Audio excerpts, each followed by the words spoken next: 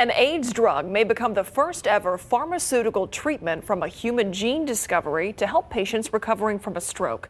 Researchers at UCLA discovered that people missing a certain gene recover well. Reams Friedman had a severe stroke at 21 years old. It was like I was run over by a truck. So I went from a fully functioning man to uh, someone who essentially couldn't do anything. Using physical and occupational therapies that were available, he got back most of his function and now runs a stroke recovery group.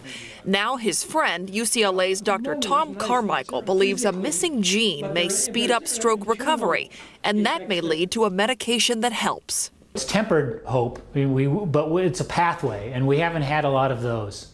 In a study in Tel Aviv, stroke survivors without a functioning CCR5 gene showed significantly better improvements in motor skills, language, sensory function, memory, and attention. The drug Maraviroc blocks CCR5 and slows HIV progression.